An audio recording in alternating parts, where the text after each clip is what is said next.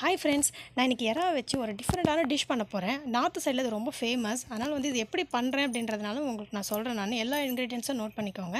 இப்போ இதுக்கு வந்து நான் பசலக்கீரை எடுத்து வச்சுருக்கேன். அப்புறம் வந்து பர்வல் எடுத்து வச்சுருக்கேன்.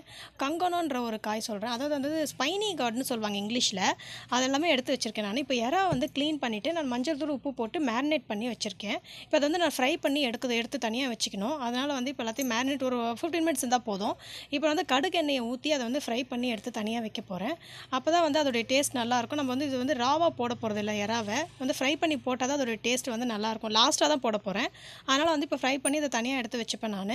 அது பாருங்கள் நல்லா வந்து ரொம்பவும் ஃப்ரை ஆக வேண்டாம். ஃப்ரை பண்ணி எடுத்து வச்சுக்கோங்க. இப்போ இதுக்கு என்னென்ன காய் சொல்கிறேன் பாருங்கள் முள்ளங்கி அந்த கங்கன்னு சொல்லியிருக்கேன். அது பருவல் அப்புறம் வந்து வாழைக்காய் வந்து அரிஞ்சு வச்சுருக்கேன். வெங்காயம் தக்காளி இஞ்சி பூண்டு அதெல்லாம் எடுத்து வச்சுருக்கேன். கத்திரிக்காவும் அப்புறம் மஞ்சள் பூசணிக்காய் வச்சுருக்கேன் பாருங்கள் அதுவும் வந்து உருளைக்கிழங்கும் வச்சுருக்கேன். ஸோ இதெல்லாமே வந்து ஒரு ஸ்டெப் பை ஸ்டெப் போட போகிறோம் நம்ம எந்தெந்த காய் எதை ஃபஸ்ட்டு போடணுன்றதை வந்து நான் சொல்கிறேன் இப்போ வந்து பசலைக்கீரையை வந்து நான் கட் பண்ணி வச்சுருக்கேன் பாருங்கள் நல்லா அலசி அரைஞ்சி வச்சு வச்சுருக்கேன். இப்போ அதே வந்து நம்ம வேற வறுத்து எடுத்தோம் இல்லையா? ஸோ அந்த பாத்திரத்துலேயே நான் வந்து கடுகெண்ணெயை ஊற்றிட்டு சக்கரை ஒரு ஸ்பூன் போட்டு அந்த பிரிஞ்சி இலையை போட்டுட்டு நான் என்ன பண்ணுறேன்னா வெங்காயத்தை வந்து போட்டு வதக்கிட்டு இருக்கேன். வெங்காயம் மெலிசா அரிஞ்சு போட்டிருக்கேன் பாருங்கள் அப்புறம் வந்து காஷ்மீரி ரெட் சில்லி ஒரு ஸ்பூனும் உப்பு ஒரு ஸ்பூன் போட்டு நான் ஃப்ரை பண்ணிகிட்ருக்கேன் அந்த காஷ்மீரி ரெட் சில்லி முன்னாடியே போட்டோன்னா வந்து நல்லா கலர் கொடுக்கும். அப்புறம் இஞ்சி பூண்டு பேஸ்ட் ஒரு ஸ்பூன் போட்டு நல்லா ஃப்ரை பண்ணிகிட்ருக்கேன் இருக்கேன் தனியாத்தூள் சீரகத்தூள் அதெல்லாம் போட்டுட்டு பெப்பர் தூள் வந்து ஒரு கொஞ்சமாக ஆஃப் ஸ்பூன் தான் போட்டிருக்கேன். இப்போ அது எல்லாத்தையும் நல்லா வதக்கிட்ட உடனே இது நம்ம வந்து வெங்காயம் மூணு வெங்காயம் எடுத்திருக்கோம்னா அதுக்கு வந்து ஒரு தக்காளி தான் நான் எடுத்திருக்கேன் பாருங்கள் ஒரு தக்காளி போட்டு நல்லா மசிச்சு விட்டுட்டு உருளைக்கிழங்கு அந்த வாழைக்காய் அந்த காயெல்லாம் வந்து நான் போட்டுட்டு இப்போ வதக்கிட்டு இருக்கேன் இப்போ இந்த நாலு காய் மட்டும் போட்டுட்டு ஒரு டென் மினிட்ஸ் வதக்கிடுறேன். ஏன்னா இது வந்து கொஞ்சம் பெரிய பெரிய சைஸாக இருக்கு இல்லையா? கொஞ்சம் வேகணும். அப்புறம் தான் வந்து முள்ளங்கி அது டென் மினிட்ஸ் கழித்து தான் முள்ளங்கி கத்திரிக்காய் பூசணிக்காய் அது எல்லாமே நான் வந்து போடுறேன்.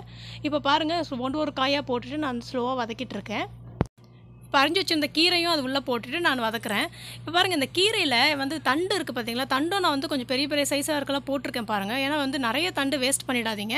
இதுக்கு தண்டு வந்து நல்ல டேஸ்ட்டு கொடுக்கும். அதனால் வந்து குட்டி குட்டி பீஸாக தண்டு அரிஞ்சு போட்டிருக்கேன் நான்.